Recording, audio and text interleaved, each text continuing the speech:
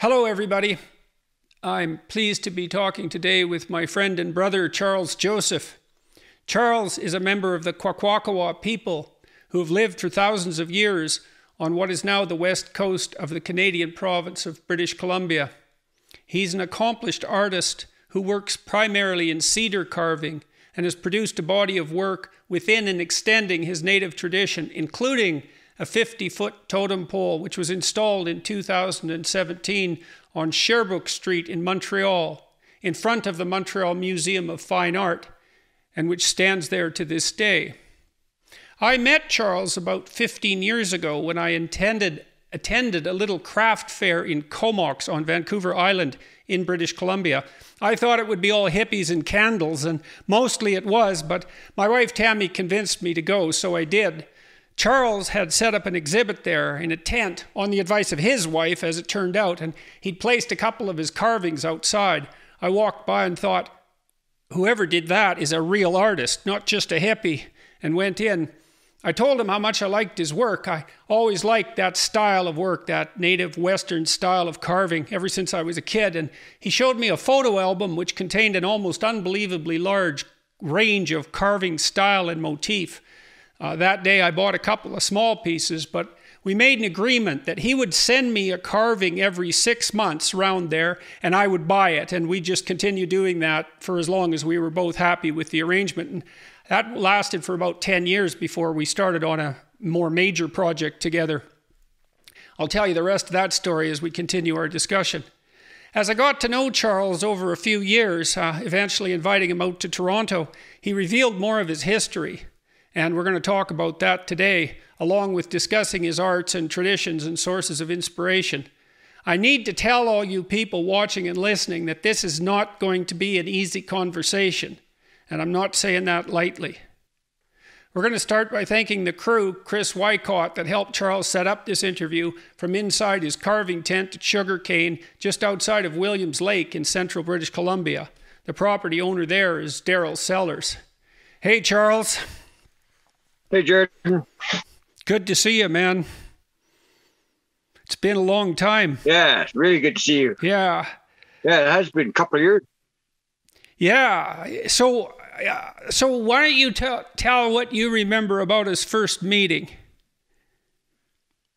Oh, okay. It's uh, it was in Comox, and uh, art show was called Nautical Days, and I got invited to go by my I was reluctant to go at first because I wasn't sure what was going to happen there. I'd never been to it. But I decided, okay, let's set up a table.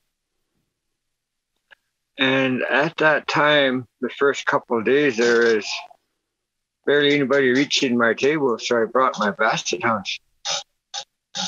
And my basset hound, my basset hounds were there that day, and you and your wife showed up. I said, Could I pet your dogs? And then, then you guys walked in and started looking at all the, the button blankets that were hanging behind me and all the art that was on the table. And from from that day on, we became close friends, and, I love it. Yeah, well, you told me something striking that day, or later, not not not long after that. I think I think you told me that I was the first white guy that you'd really made a friendship with. Is that right? yeah. Yeah. Uh, it, it, the reason for that, Jordan, I was reluctant to have uh, non-native friends because of my residential past. Um, I wasn't sure if I could trust anybody that way. Yeah, well, you you told me the story, and that's one of the things I want you to do today. And that unfolded for us over a couple of years as we got to know each other, and it was pretty damn harrowing to listen to, to say the least.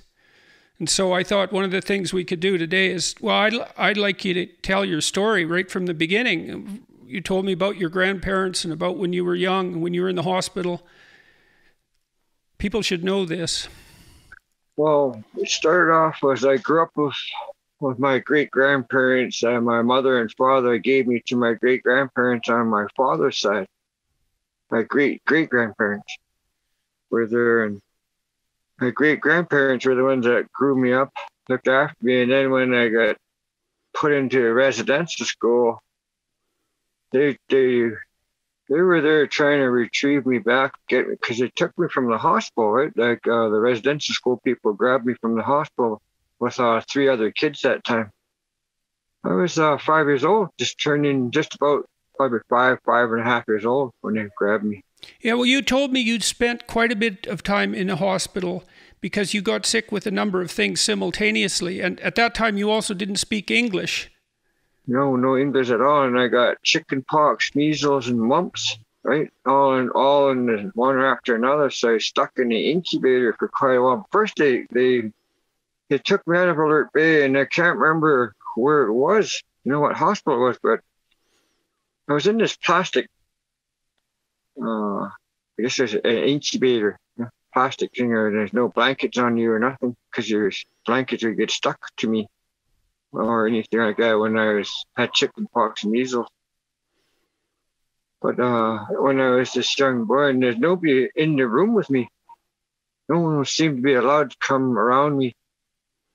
But this young boy, uh, I always remember this story because he's the first one that gave me a toy to play with in this incubator thing because I had nothing to play with right? So he, he stacked up these books to be able to reach the crib that I was in. That's how small we were, five years old. So I was in this bed, he stacked these books up and threw a, a toy and he couldn't completely reach over, so he threw it in and then climbed back down off those books and I had I had that toy in my hand and I guess I was excited just for that toy and him for doing that, right? And I got to play with that toy until I got to leave that hospital. And then ended up back in Alert Bay Hospital, and all of a sudden I got picked up by this residential school. Well, you, I think you uh, told me, I think you told me that you were on the dock waiting for your grandparents, your great grandparents, to pick you up. No, no, no. I was in the hospital in, oh, a, in the waiting room, and they were down the dock waiting for a oh. taxi, but they got there too late. Right, I was already picked up by these people and I never knew them. I couldn't speak English to ask where, where what was going on and where was I going. So by the time that happened, I was in this residential school and it was a big red brick building. And uh, as soon as I got inside those doors, my life changed within seconds because I got thrown to the floor and they cut my hair uh, took all my clothes off and put these funny looking clothes on me and shoes four times too big for me. And uh,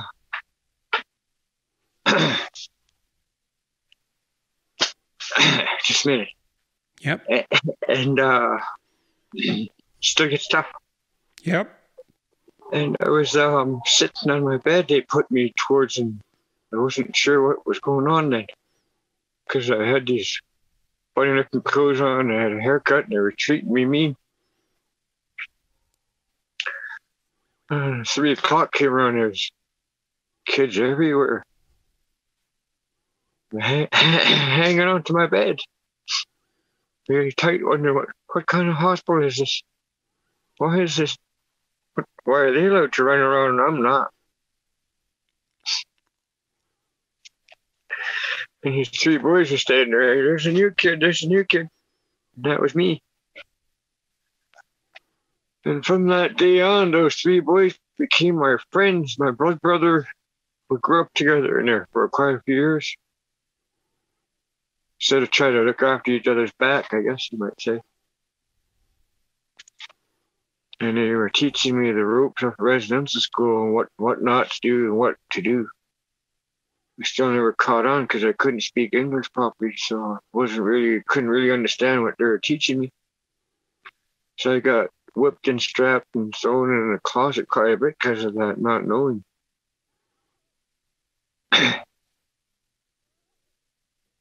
it got it got worse from there. It just like got got hurt by a nun and then preacher the following day, so you were confusing and the years about whether I should be with a woman or a man because of what they did to me.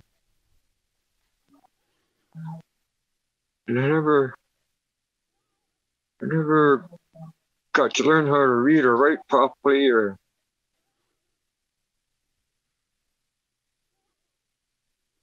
You told me, Charles, that you had a hard time finding enough to eat when you were in the residential school.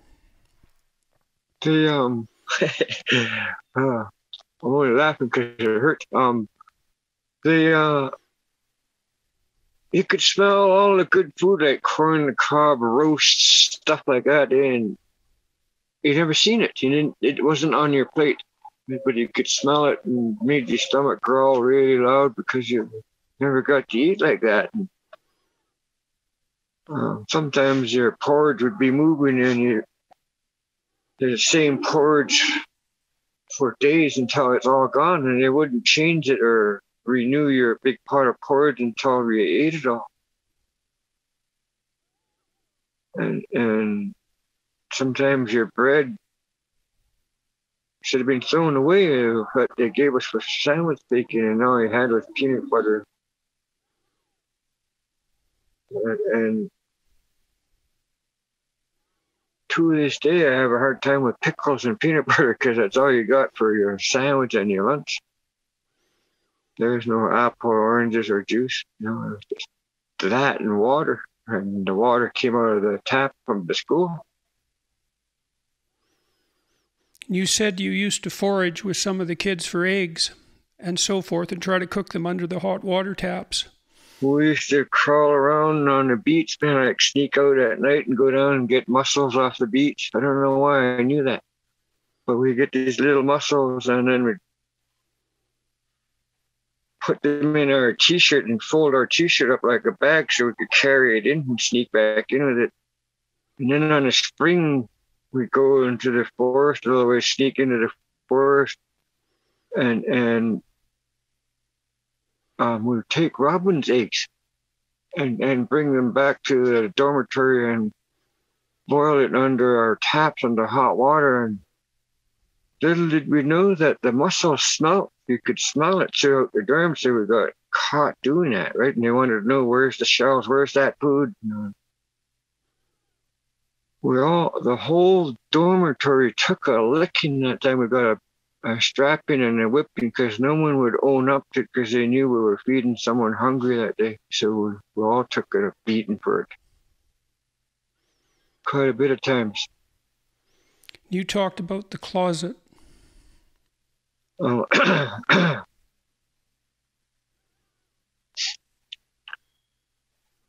when when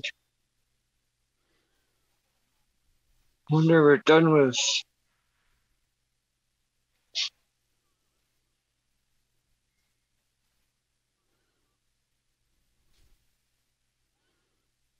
when, when they were done with um, um, molesting you, they're sitting in a closet for five five days. Dark closet where you can't stand or sit down properly or lay down. You're just sit there with your legs bent up to your chest. It's real dark in there. And when they when they pull you out of the closet, it's so bright out that you black out for a while. Then you wake up on the floor getting kicked around. Get up, do your chores. Or oh, you'll get put back in there again. And you're waking up from being kicked around and then you don't even know what your chores are because you're blacked out when you're they're telling you what they want you to do. So you get into more trouble because you don't know where your chores are, what you're supposed to be doing. How long were you in this school? I was in there for nine years. What, what? three, four years of it, you weren't allowed to go home. What did you think about your family not being there? Um, I thought, I never really thought more of them. I thought, what did I do so wrong that they left me there? I couldn't figure out what what what was it that I did that put me in such a bad place like this. And then witnessing probably the third time they tried to come around to come and get me, and I seen the RCMP escorting them away from the residential area and escorting them right down to the dock. I told them if they came back, they were going to be put to jail, come back and try to get me. So they never ever came back. So I seen that. So before I seen that, I was blaming my grandparents and my dad because that's who I grew up with. I was mad at them for leaving me in such an awful place and then wondering why they left me there. You know? With uh with the help of my older relatives that were there, made it a little bit easier at the end because then some of the native people started getting hired to work there at the end of the one before it closed. But before all that, there was pretty. You, start to wonder today, where do they find all these mean people? You know, to be like that. And, then the other one is, is uh, how could I be like them as a supposedly a Christian or whatever, and treat people like that? It, it I'm sort of more drawn away from that than than want to know more about it because of those reasons.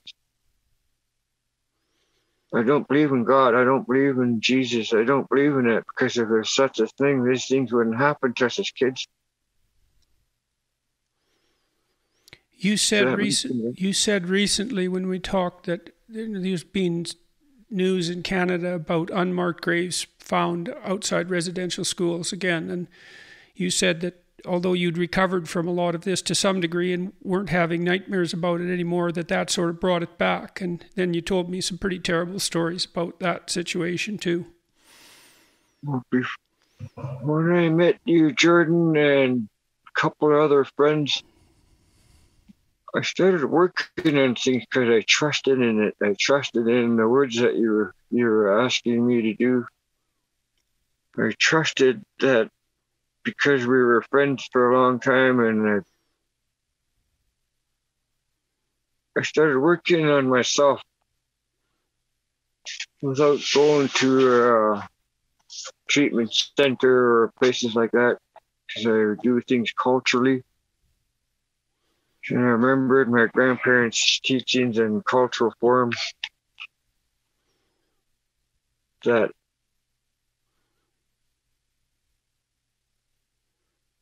it made it easier for me to live my life without feeling like that because stinking thinking can kill a person inside out. You won't even know that I'm hurting. Because as a as a child coming out of St. Mike's, you start to learn how to cover up those kind of pains and cover up your tears because you don't want people to know because you feel ashamed of yourself and you're you dislike yourself for what happened. Well, you told me you told me a story about what was done with bodies at St. Mike's and the incinerator. You know, Jordan, they would they would wrap these kids up whether they died from uh, Hep C or tuberculosis, and wrap them up, and they would put them inside this big thing called the incinerator.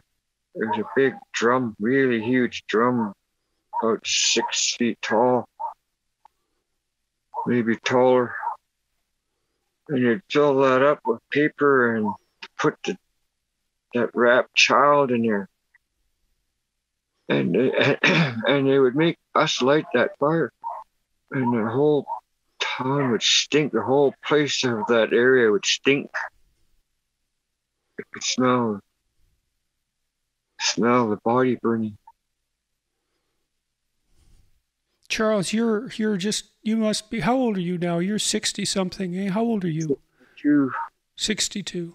So you had a long time to think about this, Charles. Why in the world do you think someone would do something like that?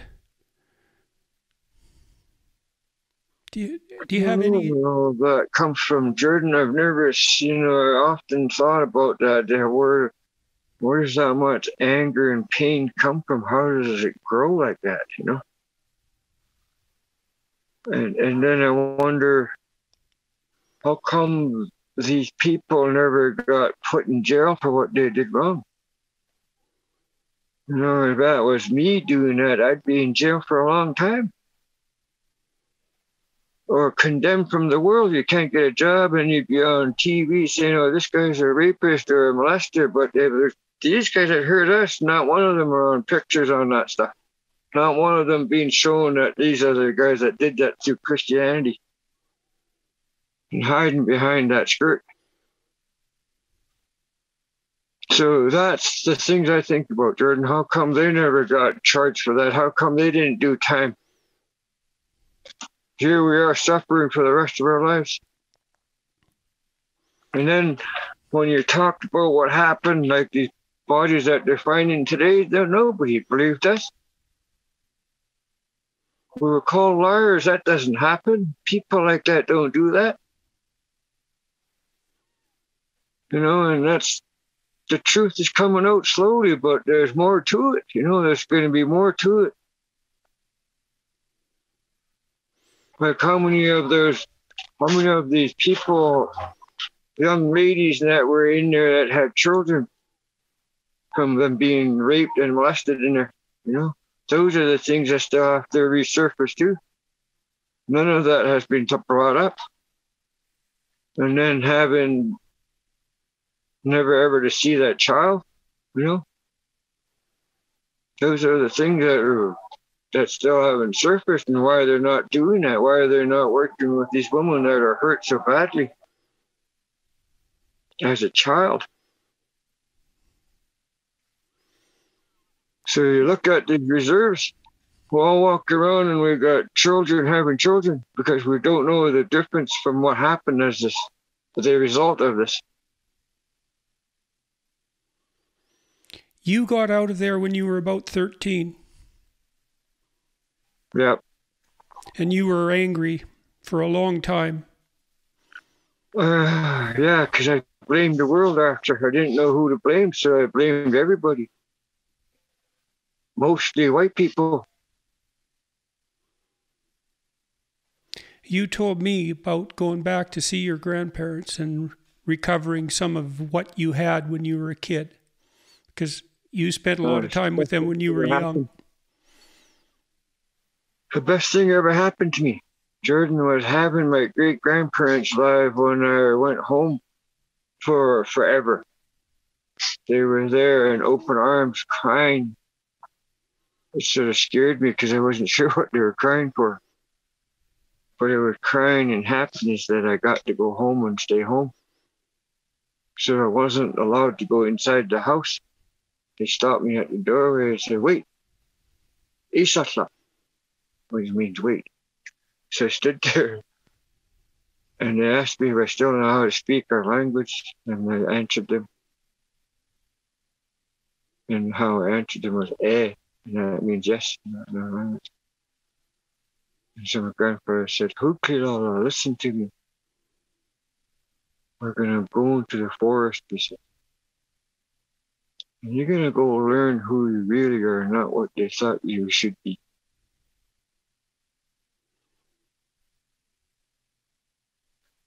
I was really scared. Wasn't sure what was going to happen. So as we were entering into the forest, my grandfather asked me to take my residential clothes off and leave it right there, wherever it comes off. So as we were heading up this creek behind Sam Charlie's house, Siki's house, Chief, there was a creek behind their house and it went up towards back of the reserve. And there's these four big trees that were there in a spot to sit in the middle of these trees. He brought me there and he sat me down and put a blanket on me. It wasn't any blanket, it was his chief's blanket with buttons on there and a story that told his story of what he had crusts on his in his treasure box on his blanket. So I was very proud to wear that. And I sat there and he gave me a pebble a feather, and a rattle.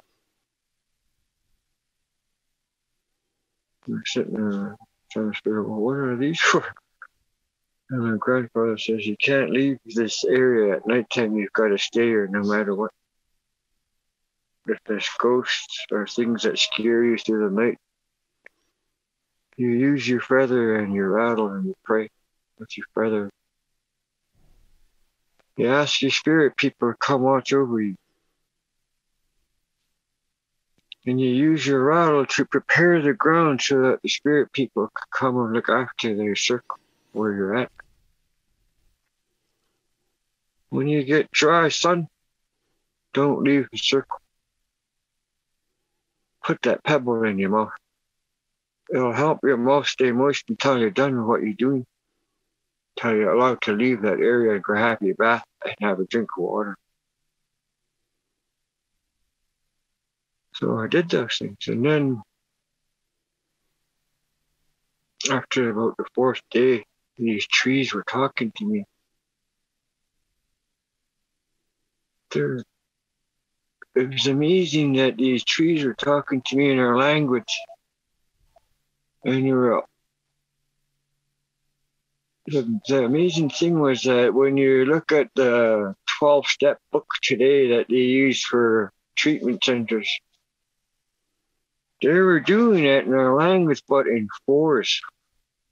Not one step, but in fours to me. And then reading me positive affirmation about who I am. And then nurturing that little boy. At first, I couldn't understand what little boy, and that little boy was me when I got first put in St. Mike's and then worked my way up to being able to handle what was going on in my life without hurting myself and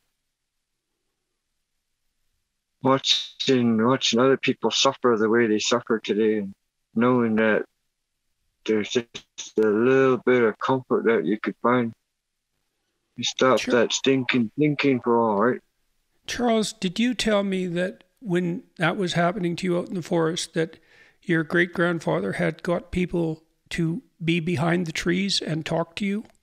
They were standing behind right. the trees, yeah, but I thought their trees were talking to me. Yeah. But when I finally got up and walked out to go walk home, these people were behind me, and I look back, and there's these chiefs standing there behind these trees, and they're nodding their head and that means it's okay to leave the circle. Haganenok, you can go home now. Tell your grandparents what you've learned, and how you feel. But when I was walking, I felt like I was on clouds. walking on clouds because a lot of that pain and pressure that I was inside me felt like some of it disappeared through them through the positive affirmation. And then what were they telling you? What were they telling you? Why did it help? Because they brought me to my childhood. They they made me envision me myself standing there, lit, being hugged and nurtured and looked after where I should have been. And you're speaking in our language in that form. And when you speak in our language, Jordan, it's it's it's different. It's like it's, it means more than just the sentence itself. It means more than that. Like when you're when you're sitting there listening to them tell you the, the good things about yourself, you start to look at what they're saying and what the other guy's saying. He goes, the weather's like this. It's nice out. The the smells in the forest. Who you are. What's your native name? All of that gave me strength for some reason. And then they started talking about who I should be today, what you should be learning, what you should do to make yourself feel more comfortable with life. And to uh, meditate to the spirit people about strength and be able to learn from what it is that you're doing here. Why are you here? And why I was there was to let go of this pain that I'm carrying still today, but to be able to live through it without hurting myself or others. Charles, can you t- talk more about what happened to you in the residential school? I know these are terrible things to talk about, but people need to know.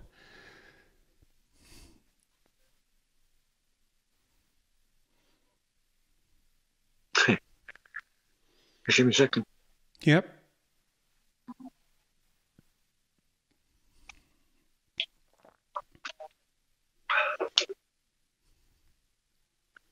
Water's healing. Before we did this, before I knew we were going to sit down and do this, I um, I was meditating to my grandparents about giving me strength here, up in Williams Lake. My family, my wife, and my children are from here, so I wanted them to learn the Shuswap way besides my own. So I wanted to, uh, I, I like to thank the Sugarcane Tribe for allowing me to be here doing this today. Because I'm working on some things for them about that residential school that they had here and some history that they taught me here, what I could put on their panel for.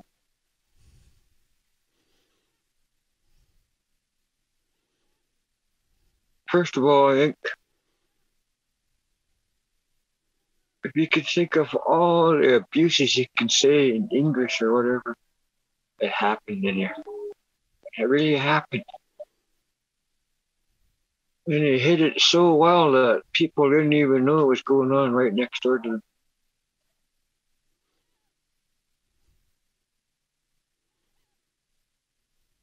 I was five, five and a half years old when I got raped by a nun, and then I got raped by a preacher the next day.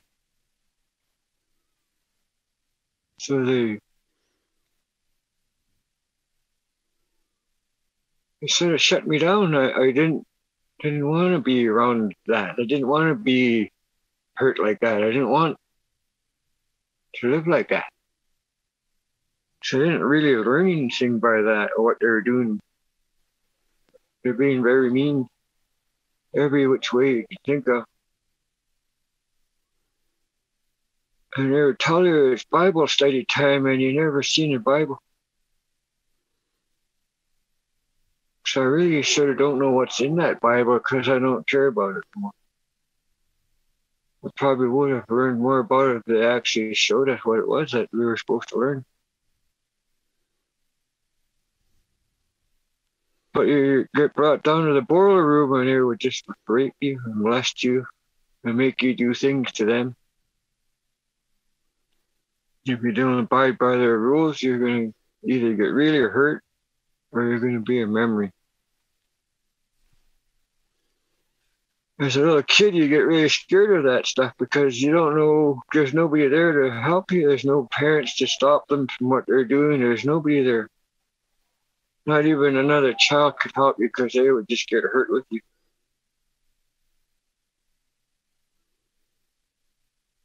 I can talk about it today because it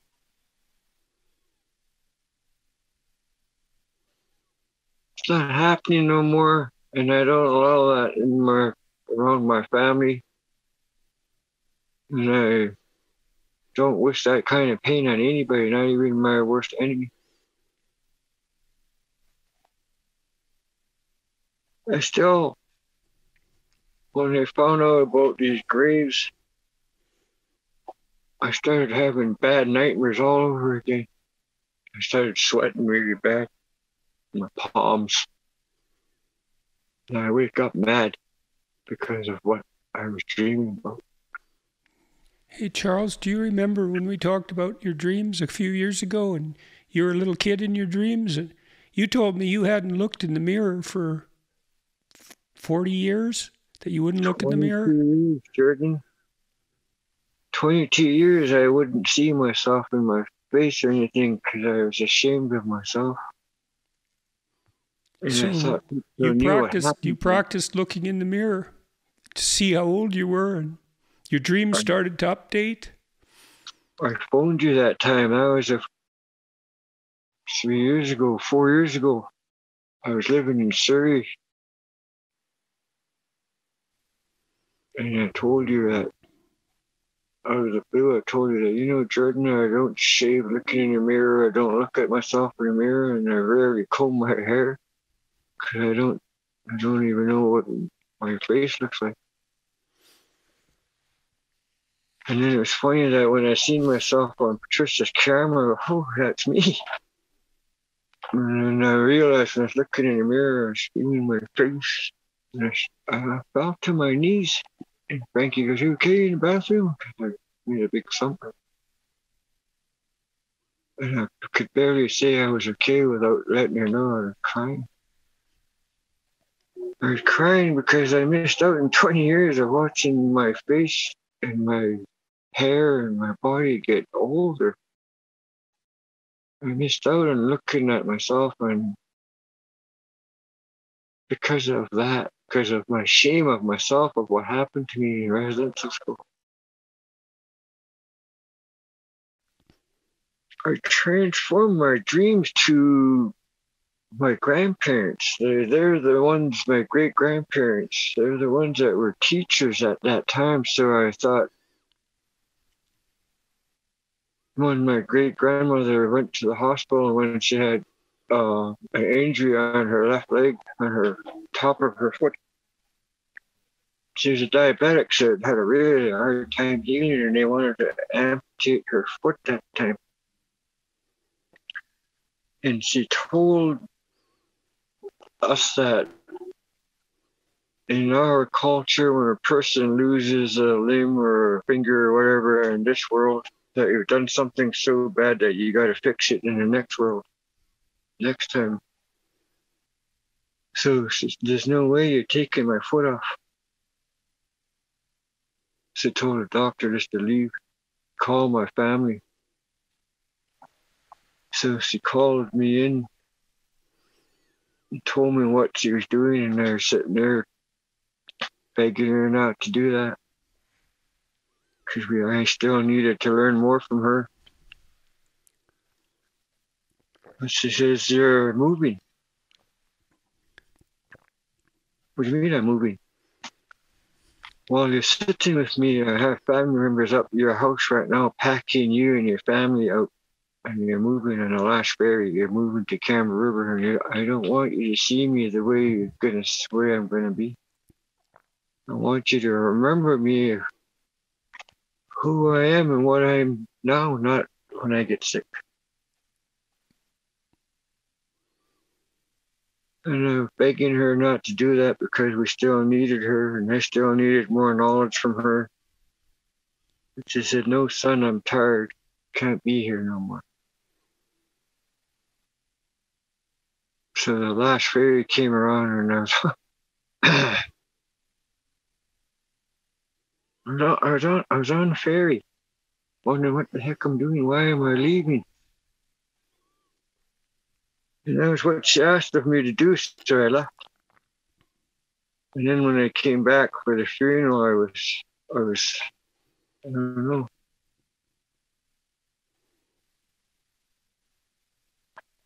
I became a, a, a drunk because everybody passed away. It seemed like seemed like everybody that I got close to or really, really close to and loved very much, they seemed to pass away on me. So I started, geez, my, my jinx, every time someone get close to, they, they either get sick and die or something happens bad. So for the longest time after my great grandmother died, I wouldn't take anybody as a friend for all that close because of those feelings. And uh, that's how I lived for all this. Uh, I just sat and closet drank and then started drinking on with the streets with the street people for a few years. And then and then I sobered up because of my great grandfather, and he said that you have to come home and learn who you are. How old were you then, Charles? What's that? How old were you then?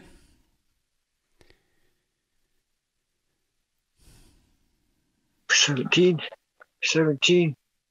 I was still underage, 17, 18 years old. And then not too long after that, they passed away. So I was, I was having a hard time with that because I had nowhere to go and sit and talk to anybody no more, no more elders to learn from. That's how I felt for a while. Because I closed myself in and didn't want to I didn't want to look for a new grandpa or a new grandmother to teach me. I just, I was too hurt. So I, I stuck to myself for a while. And then, first time I walked into a ceremony house after a few years and met up with Beau Dick and Wayne Alfred and those guys. And they woke up that Carver guy uh, inside me. And since that time, I just started looking forward on how to look better and feel better for myself and looking for people that are positive so I could inhale some of that positivity, you know, and learn what it feels like. Let's talk about your let's talk about your carving. You said that when you met Beau Dick and his he was a famous carver and and the people that he was with that woke something up inside of you and that was associated with what you'd learned from your great grandparents when you were a kid. They were artists. They were all carvers. My great grandfather my great great grandfather and my dad they were all carvers and professional dancers. They would call them professional dancers. And I seen it and I wanted that. I wanted to be like my dad. I wanted to be like my grandfather. So I was, when I got to hang out with the uh, elder carvers, it felt like I was sitting with them, you know, and then when I was sitting with these elders learning how to carve and then started sitting with Beau and Wayne, the people that I grew up with, you know, and amongst another of the elder carvers like Doug Cranmer and Bruce Alfred, and, and watching how they create these beautiful things and make it look really easy. So I thought, geez, I want to be that guy one day. I want to do that. So I started carving more and more and more, and then started missing out on my jobs that I used to have. I used to be a logger and a fisherman, and I I just recently sold my boat because I like carving more than I would fishing.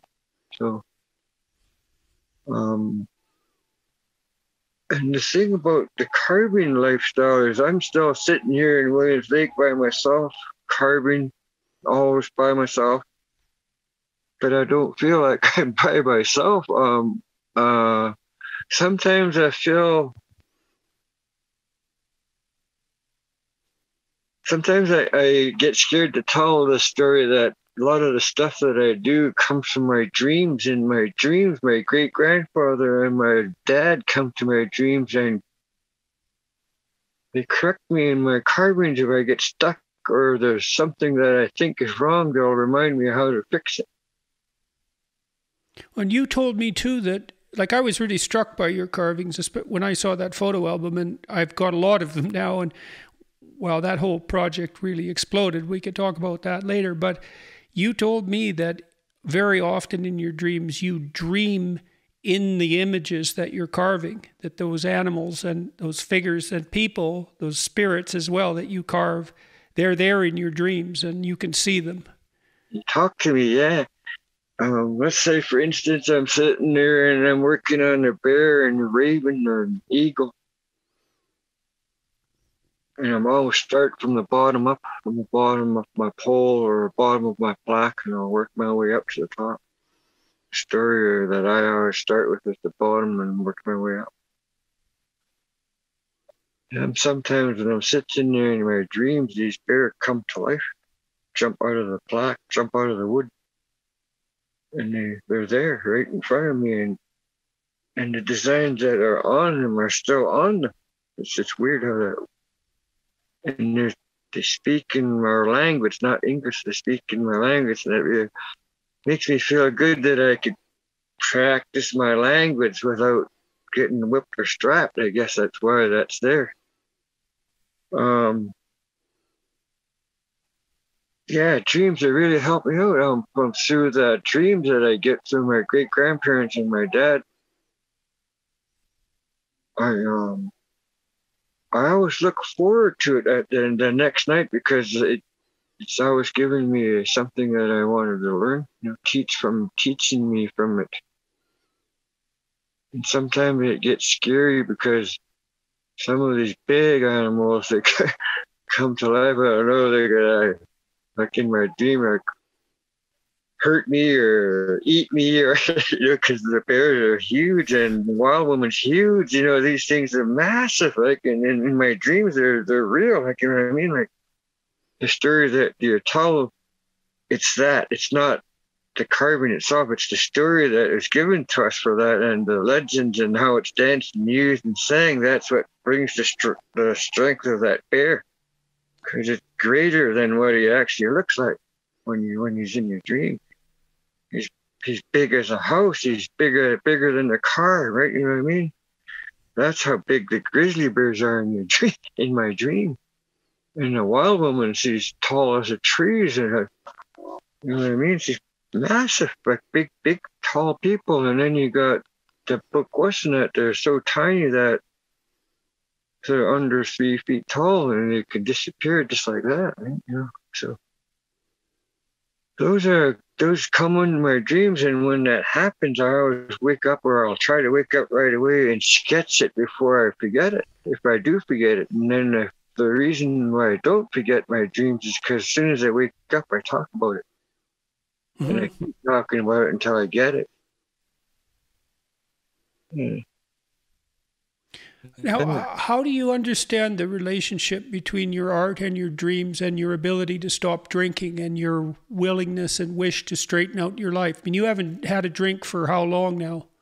I haven't drank for 31 years. Um, I think um, the reason why I quit drinking and, and drugging was because it didn't go hand in hand with what I was doing with art and culture. It, it wasn't there, right? It, it was it didn't have those feelings that you have when you're sitting around the art or watching the dance go on or the singing.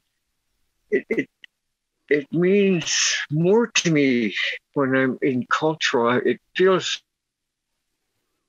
it feels like it's my church. Let's put it that way. I think that's mm-hmm. how I want to put it. It feels like it, I'm in my church when I'm doing these things. It feels like when they're singing and the drums are going and, and there's from young kids to our elders, and when our elders walk into the ceremony house, whether they're on a wheelchair or they got a cane, that just gets put down, and it's like there's no pain in that elder because of that singing and drumming. It just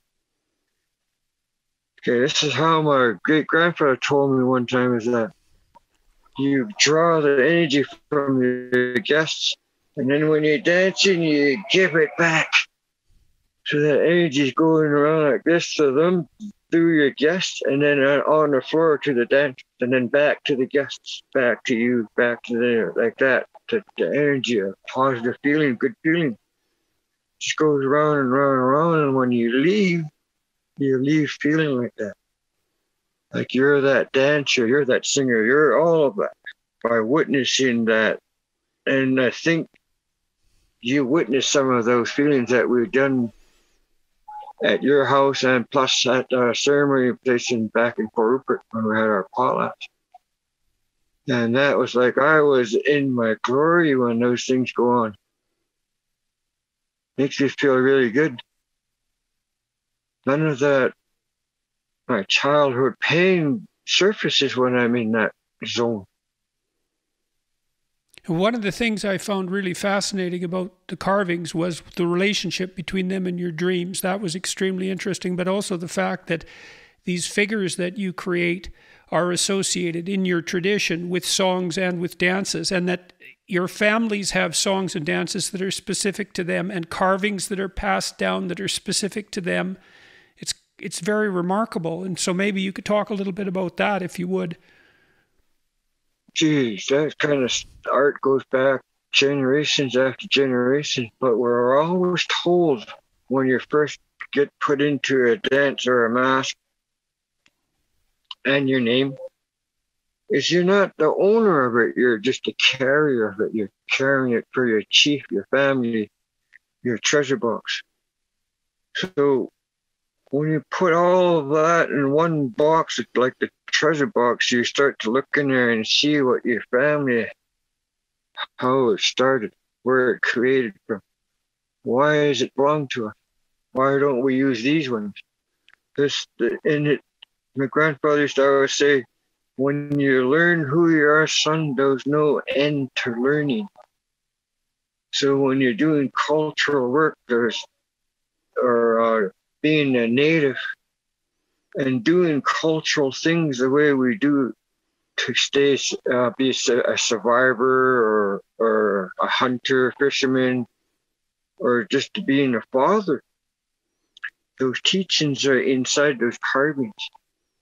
And when i dream about those things there's always something like like for instance jordan when we were talking about your your holes in your house there and you know when you were talking about your bear so in my dream that bear was holding you hugging you and letting you know that you're the you're the chief of your house you're the speaker of your family you're that man you're the teacher and then when the eagle if your wife when the eagle came to her the the house.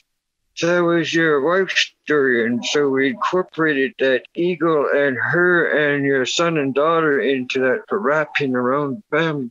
Wrap the son and daughter wrap around the mother. Because that's yeah, you know, Charles, Charles, my, my friends used to call my dad Wally Bear.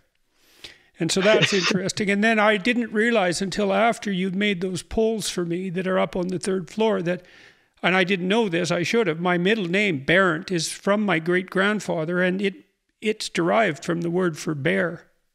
Yeah. Wow. Yeah. Good one. Yeah. Amazing how, Jordan, it's amazing how things come together and it, it fits the story both sides, like mine and yours. Yes, it is amazing how things come together in stories at times. There's no doubt about that.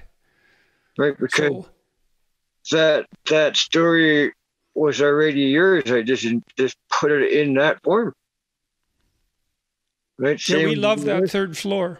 Yeah, you know. and same with your wife. That was her eagle story, so that I just made it what I how I heard it, right, and how I've seen it in my dream.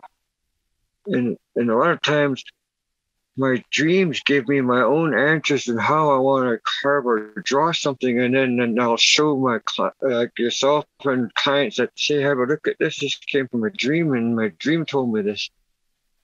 So some most of the time, oh, we should go with your dream because it means something. There's a story that comes with that carving or that dream, and it follows that carving. And I sort of like just sit and ponder on how the story is going to come to life. When I'm carving, as I'm carving, I can see it coming to life. But I can't see it when I'm just looking at this block of wood or this log. But once it starts forming into a totem pole or a carbon mask, then I start to see that story that's coming from that that's when it comes to life is when I start to carve it actually. So I, I can't tell you the sometimes the full story until I'm actually finished drawing or carving what it is. Because as I'm doing that, I remember stuff in my dream, what they're saying to me, and, and how I should say it in English. So when you came out to Toronto, we started to talk about my third floor Tammy and I had kind of had this weird dream of putting a log cabin on the top of our little house in Toronto. And, you know, it's an absurd thing in some sense, but it, that's really what happened because the whole inside of that now is wood from my great grandfather's barn and it's full of your carvings. I think there's 30 of them up there, a lot of them from the potlatch that you hosted in on Vancouver Island, and that we had the privilege of attending, which was an amazing thing, a completely amazing thing. And and when you came out here, we won't mention who who he was, but I introduced you to a good friend of mine, and he commissioned a lot of work from you, including that huge totem pole. And so maybe you could tell the story about carving that that fifty foot totem pole. Fifty-four feet. Yeah, 54. 54 feet, yeah, it, 54 feet with the horns on and stuff. Um, it started off with when we first, like when you first brought me to Toronto, and then we were talking about Chanie, and his name is also Charles. Uh, and other rest, uh, he passed away on train tracks. And anyway, uh, uh, when you guys were telling that story at uh, at the dining table there, and then you then you um, I was listening to the story, and I goes, "Geez, how do they know me already?" I thought you guys were already talking about me because you brought up the they brought up Charles's name a few times, and that's Chanie's name, and that's my name. So I thought you guys were already talking about me. So I thought, geez, I don't even have to say nothing. You guys already know. but and then you said, oh, Charles has a similar story to Chanie's. So um, um, I was looking at you and I was looking at, you know, uh, and it just be, and I said, just give me a minute. I need to go outside. And I seen there's trees out there right close to the house we were at there when we were having lunch that time. So I went over those trees right away and I went out there and asked for my my grandparents to come give me strength to come and talk about this over here, way over in Toronto. And then it, I felt that big breeze come through, and I, oh yeah, they're here. And then I went back in, and then we started talking about that day about my residential school, and I just I sort of gave it to you guys in a short form that time. I think you danced then too. Um, Do you remember that? It wasn't long. No, but it no, was really yeah, striking. You know, I, I was really and I, I was really amazed to watch you dance because you fe- you fell into it in in so in such a deep manner that it was immediately entrancing.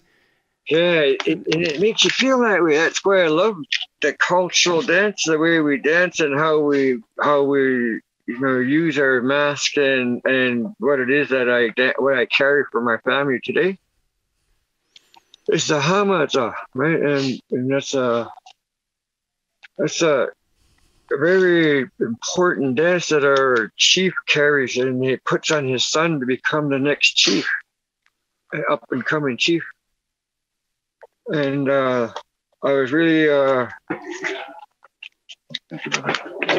really uh, thankful that uh, and grateful and honored to be uh, asked to be the Hamatsa and our pilots that we had with you guys there in uh, it was 2016, I think it was, or 15. But that was from the Joseph side of the family, and that was my my great grandfather, uh, Billy Joseph chieftainship. And uh, my auntie and uncle asked if I could uh, be that dancer that day because we wanted to put it on my son and then put it on um, their their son because it belonged in that side of the family, but the family said we want it on you. I mean, I said I got thrown back by that because I thought they would point at my son, but they said no, we want it on you first so you could put it on him later down the road. Oh, but it belongs to your son. He says no, we want it on you. My son can't dance. My son's not ready for culture. So I stood up and I was probably around the first time I ever really started crying, hugging people. I was around that time, and I still do that today now. Um, I was not a huggy kind of guy. I didn't like it. Yeah, no wonder. Anyways, but uh, that at that time I I was uh, honored to be that guy. And then when I started dancing uh, with Beau Dick and Wayne Alfred family, and different ceremonies uh, up in our hometown. Like there's must have been invited to about maybe 50 different pots in my lifetime. So yeah, so when I well as you know, when I get into regalia and become I sort of like I transform. I feel really good. I got no arthritis. I got no pain. I'm I'm really happy. I'm, my heart just jumps for joy when I'm doing cultural work. Makes me feel really good. Makes me let go of all of that stuff, right? You know. Yeah, well, it puts you in a different place. It's partly why I like having that art around. Well, and and good art, period, because it has that cap- capability to that beauty and that depth to take you somewhere better. Yeah, yeah. this car now this pole, you you carved some Christian religious figures into that pole. Um, okay, uh, I'll, I'll, tell you a short story on uh, starting from the bottom of the pole. Uh, the bottom of the pole is the owners of the pole and family. I'm, I'm I'm still not allowed to use names because of the media and stuff. So, but anyway, the and then on after that is there it's it's a cedar rope carved like a cedar rope underneath the bottom of the woman's legs. And that cedar rope is to for safety of wherever that pole goes. I feel because us as a Kwakwaka'wakw people we use cedar bark for dancing and for ceremony and for healing so that's why I put that there. And then there's a woman on top of that cedar rope, and she's kneeling down, and she has her arm out. And on, under each arm, she's got a boy and a girl, and then that's welcoming the kids home from residential school. And then above that, it's a whale, and on the whale, it has faces on that whale, and those faces represent the children that got adopted out and never got to come home and be themselves. And why it's on a whale is because that whale goes around the world and comes back to where it belongs. I thought that was fitting that the children did that, went somewhere and then came back and didn't feel like they belonged. Though. So I put that on the whale. And then after the whale, I made a raven, and a raven is a trickster. You know, they're very smart ravens. They like to play too. So I thought what would be fitting on that raven was I'd put a preacher and a nun on the wings, and then I put a cross down the middle of that raven's chest. The reason why I used the raven was because of how these Christianity people tricked our people into taking our elders first, and it didn't work.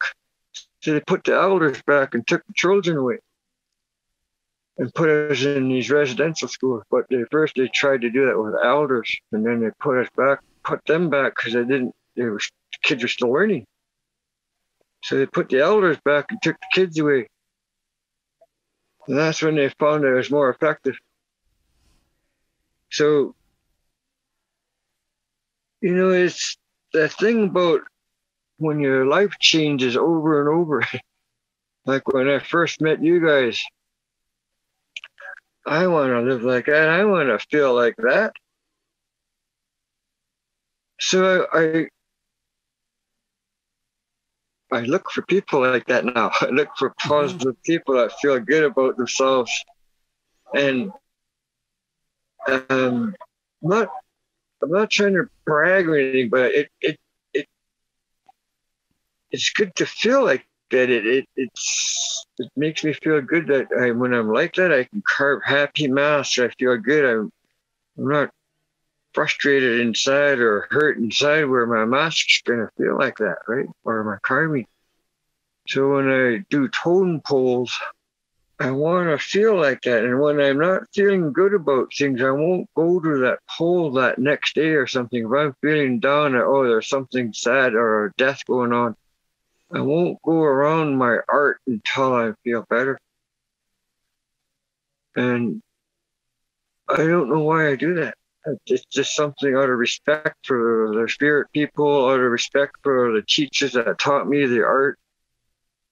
Uh, I guess that's learning learning how to deal with respect in in that way. Well, learning what to respect too.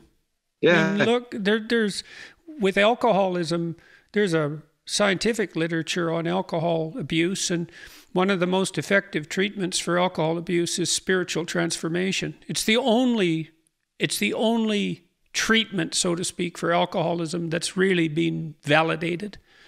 And so that's that's really quite something. And you know, you said that you found something that was more important fundamentally. I mean, there's more to it than that, but that's to be taken seriously. You know, I quit drinking when I was about 28. And the reason I quit was because I was writing. Well, there was a couple of reasons. I was having kids and I wasn't going to drink when I had little kids. I that just wasn't a good idea. And uh, you know, the only time I was doing things that I would be ashamed of the next day or a week later or something, it was always if I was drinking. And so I thought, well, maybe I don't want to do things I'm ashamed of anymore. But also, because I was writing and I was writing about mythology and stories and all of that, it was very hard work and very emotionally demanding. But I couldn't do it well if I was hungover. And so I thought, well, uh, which do I want to be? Do I want to write this book or do I want to be hungover? And so I stopped, and I stopped for 30 years, I guess. I, I drank a little bit again when I was in my early 50s, but I quit again after that because I found that even though it's about 25 years had gone by, if I drank again, I usually drank too much, and then I, you know, was likely to do something stupid. And I thought, well, no, it's just not worth it at all. It's not worth it at all. That, yeah, I'm laughing with you. yeah, yeah, no, I understand. and so, how many people worked with you on that on those those big poles that you produced. I mean, you produced some eight footers for me, eight and ten feet. I guess the welcome figure must be nine feet about. When I worked on your stuff, Jordan, there was just the family, me, Oshana, James, and Frankie. And when I worked on that big 54 foot project, there was Oshana, James, Frankie, myself, my brother Leonard, my brother Gordon, my late nephew Johnny and my nephew Mike and Orbit Leonard Jr. And it's sort of it was uh, like like I've always done. It was always family effort, right? I make sure I keep my family involved and and so they they keep in touch with culture. And then when we had that ceremony, a lot of my family members didn't make it, but of the ones that did make it, they were never, you know, introduced to the culture because they lived in Vancouver all their lives or uh, urbanized. So when they got to come home, it was a big teaching to them too, right? Because they were they never ever been involved in it. So it was good to see that uh, it works. Was it good for them to do the carving? Oh, geez, you should have seen how they felt when it got stood up they were so proud of being part of that. You know what I mean? And I was proud to see that how happy they looked when they seen the creation that we did together as a family. Stood up somewhere where we're never going to probably go again. You know, who knows? Yeah, that was it. And so, what do you think about it being in Montreal and the busiest street there? Pretty much, Sherbrooke's a major street. I mean, it's one of the main streets of Montreal. It's beautiful street, and it's in front of the Museum of Fine Art, which is really something because that's definitely one of the finest museums in Canada. It doesn't look like it's going anywhere soon. No. Uh, well, I mentioned to them that, you know, one day you guys should return this pole and get your own. but uh, um, and I tried to approach them with another idea as that as I would like to take a log there to the Mohawk people, a raw log, and then work with the Mohawk artists and see what we can come up with. Mm-hmm. Uh, and, that's that's one of the ideas I had, just to. um, are do you have more artists that are interested in that? Jordan, reconciliation with another tribe. It's I don't know if I want to call it that. I think it's just to to rekindle what our elders did before us, you know, and, and get go back to uh, being related in in in uh, all the nations across uh, Canada, I guess. Right? So, when you approached the museum with that idea, what happened? Um, Because that's a great idea. Do you have Mohawk carvers that are interested? I, I know of a couple that were, and then we were going to first get that idea on the table. Then I was going to bring it to the Mohawk chiefs that I that I had invited to the pole raising, and then see what would become of it. Yeah, so I haven't heard nothing back from that yet. But one good thing that came out of that since that time, though, is um, they had this thing that they were talking about the totem pole inside the museum. And then they had people make footprints and what they thought about the story of the pole. And then they leave their footprint behind.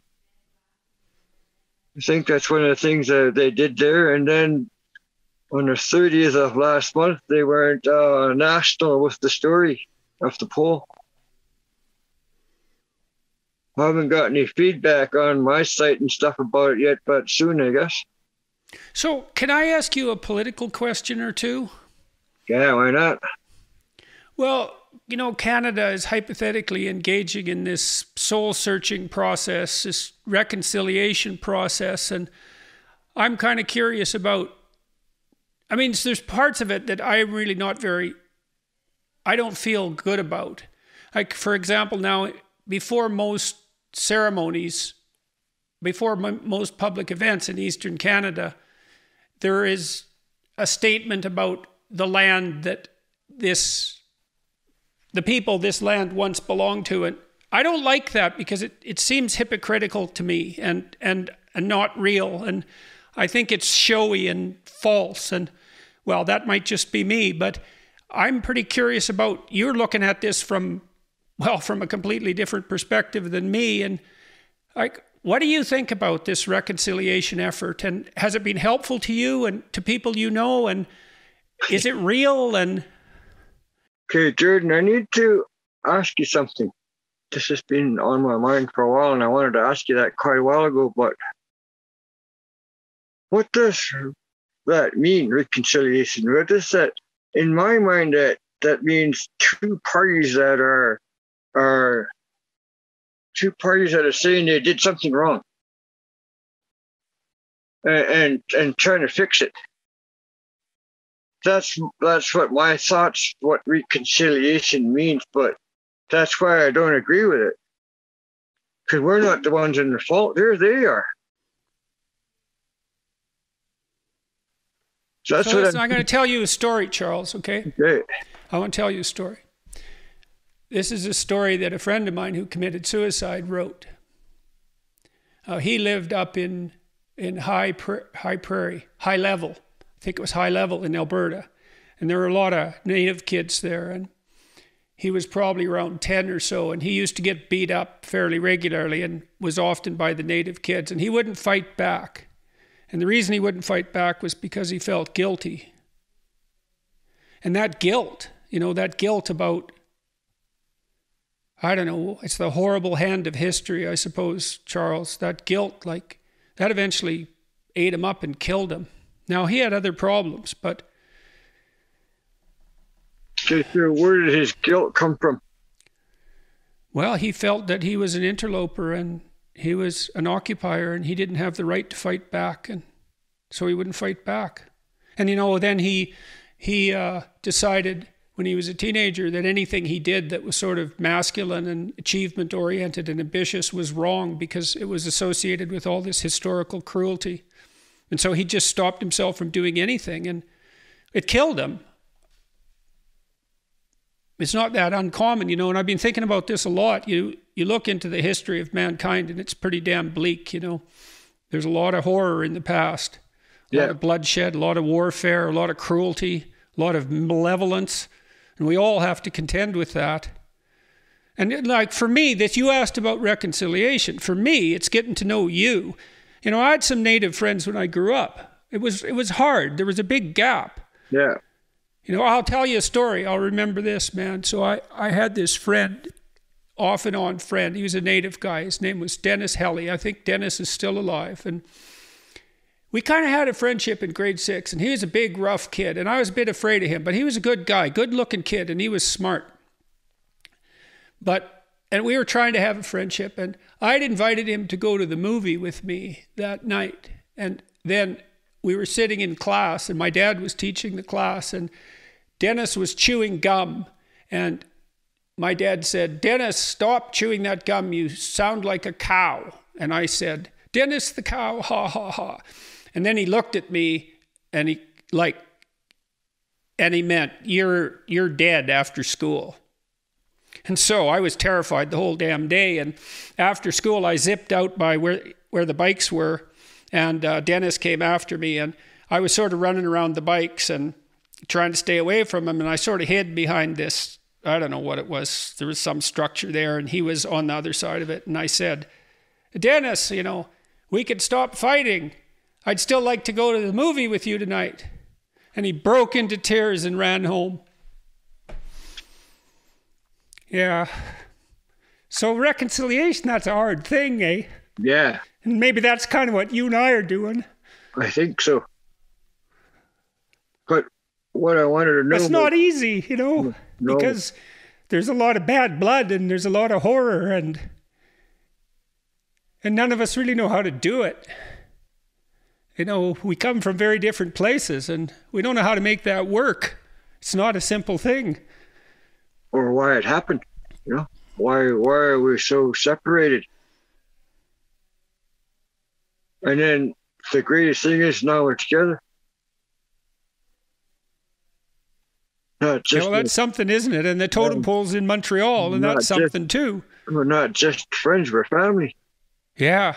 That's what I mean about the greatest thing for me is how we reconnect is right and how you and I met and why. You, you know, know, I think a lot of this sort of thing has to be done at the individual level, you know. And then, My, and then what I love about it is that, that we stay, we're still connected, we're still growing. Yeah, we're doing our best, man. Yeah. And I love that. And it makes me feel good that I'm part of that.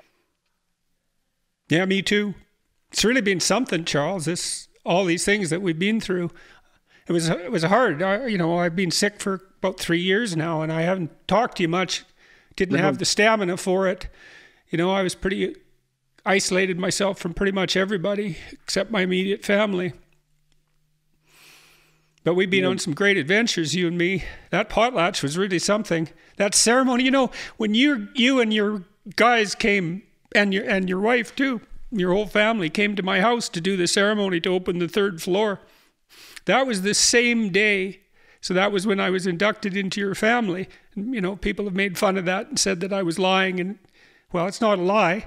No. And and that was the same day that I was being accused of being a bigot and a racist at the university. It was the same goddamn day, the same day the debate, there was a big debate there when everything blew up around me. So I went from this debate where, you know, I was basically being accused of being a racist and a bigot to this ceremony in my house where I was inducted into your family. It was a pretty damn weird day, I can tell you that.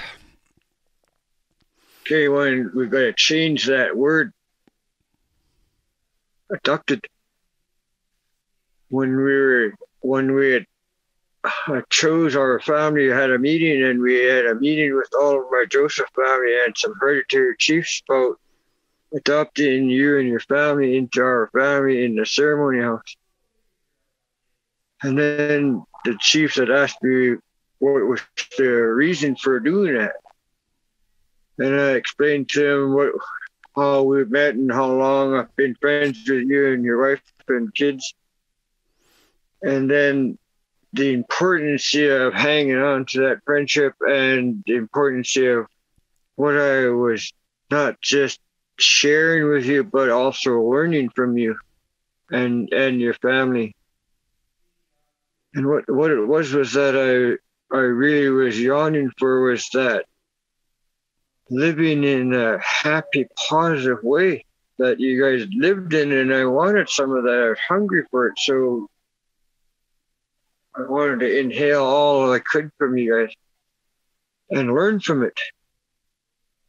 And it makes me feel really good to be part of that because who would have thought that I would understand those feelings, but I do. and it's an awesome feeling to have is being able to have positiveness in your feelings, even if it's just for a moment. You know? Yeah, no. Charles, I'm going to say goodbye for today. Hey, Jordan, it's been awesome talking with you. It's good to see you, bro, and uh, you keep up the good work.